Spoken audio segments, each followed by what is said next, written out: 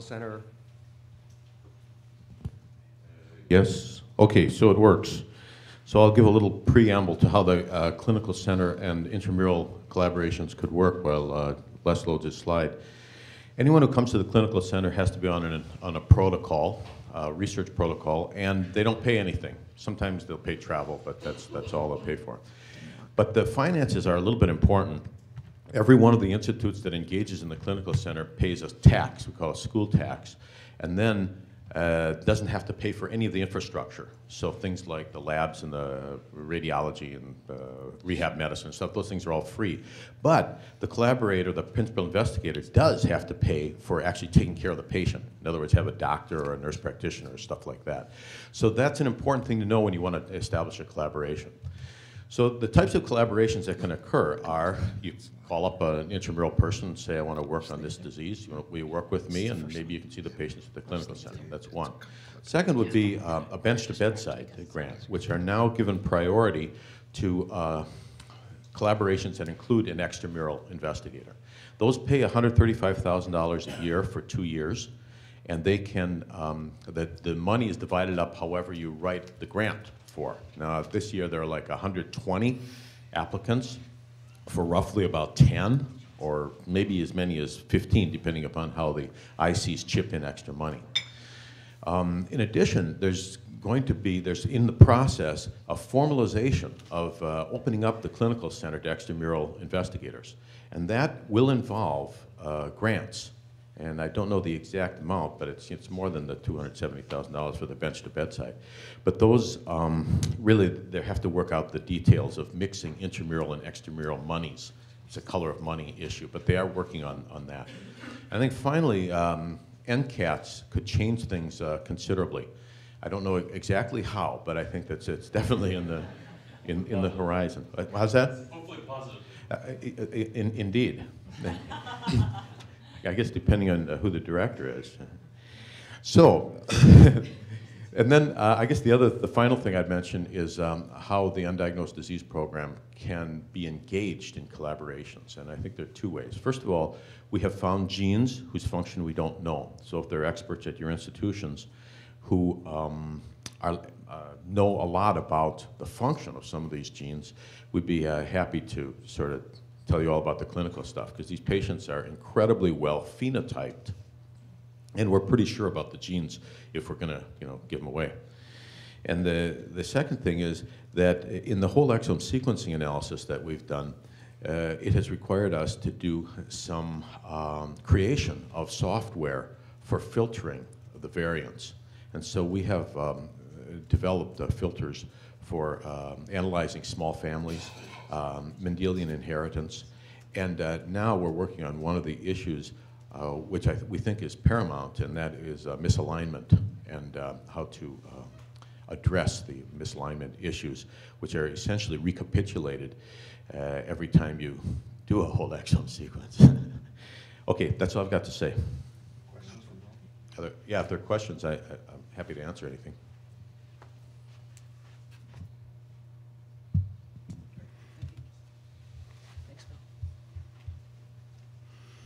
So um, quickly, I just tell you one little story that will illustrate, I think, an approach that we haven't talked about a lot here today, uh, which emanates from rare disease genetics, but then goes into more a common uh, issue that I think a lot of us have. Um, we, like many people, are doing what I'm now calling the standard uh, clinical rare disease genomics drill, uh, which is using exomes to um, uh, solve uh, rare Mendelians. Uh, one that we did was a uh, disease we thought was a rare uh, pediatric uh, metabolic disease called combined malonic and methylmalonic acidemia with severe acidosis, coma, often strokes and infarcts. Did the exome trio drill, found a variant potential causative gene analyzed a bunch of additional patients, found many uh, rare mutations in them, localization, functional correction, et cetera, and sort of solved that uh, disease. Uh, then we were interested in using our ClinSeq cohort, which is a cohort of uh, uh, middle-aged, I like to call middle-aged, young middle-aged uh, people, um, to ascertain carrier frequency. We thought it'd be good to know the frequency of this uh, trait. And actually, the uh, minor allele frequency was significantly higher than we expected to find. Our presumption was, well, we must have overcalled the variance in this cohort uh, because the disease frequency that was about five to 10 times what we expected it to be what the uh, data look like when we pull up our ClinSeq cohort, which now includes nearly 600 uh, exomes in uh, patients. Again, phenotype for cardiovascular disease was the following.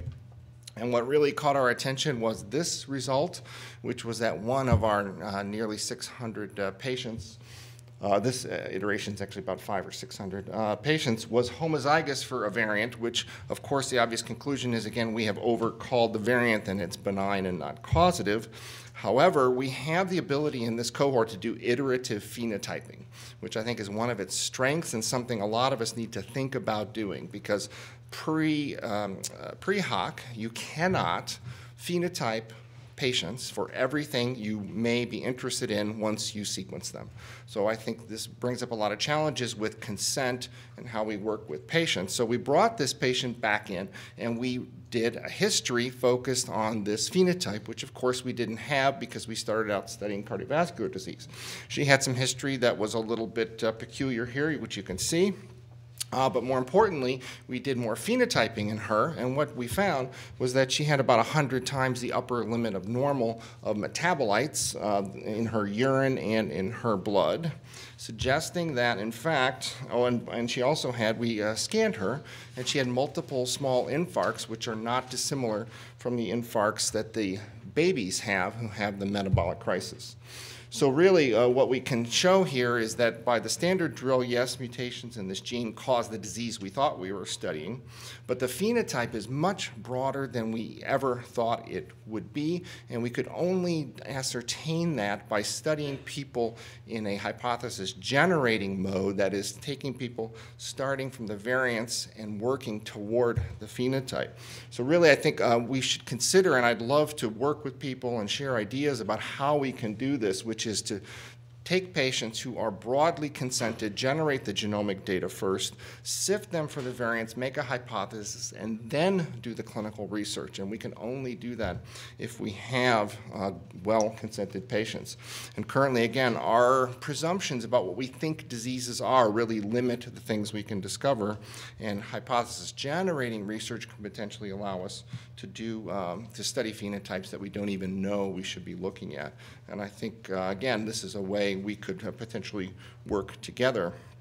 Oh, before I do that, um, I would also like to say that this cohort is potentially available if uh, other people have variants that they think are intriguing, that they don't have the ability to rephenotype, contact us and we can potentially collaborate with people to do that phenotyping. And it's actually been very, very surprising to me how willing our subjects are to be phenotyped.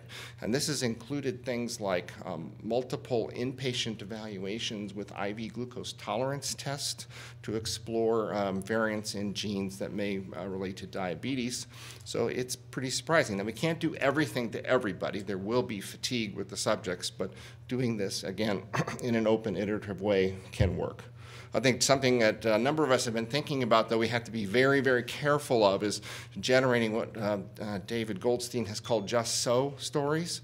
Because when you sequence, you can always come up with a clever hypothesis that links your variant to your phenotype, and we have to be very careful not to overinterpret that because we have a huge type 1 error problem here that we have to avoid and do the work in a rigorous fashion and be sure that these findings are valid. So I can stop there and take questions. Any questions?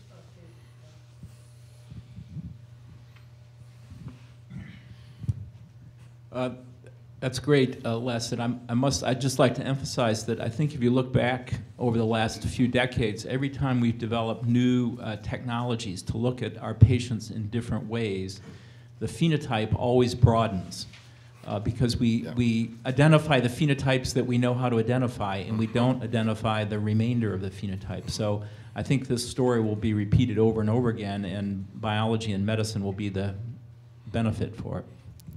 And I would just add, um, uh, yesterday the statement was made that you can't um, uh, bring patients in to study them without telling them what the result is.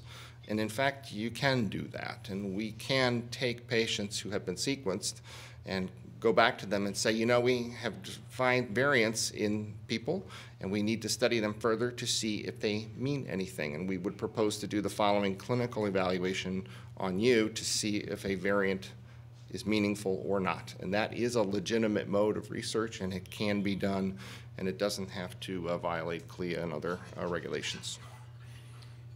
Uh, David has another comment. Did your 66-year-old woman have any uh, SIBs?